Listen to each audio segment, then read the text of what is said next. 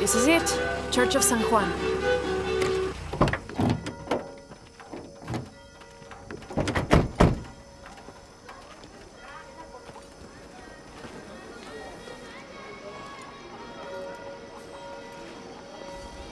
Let's split up.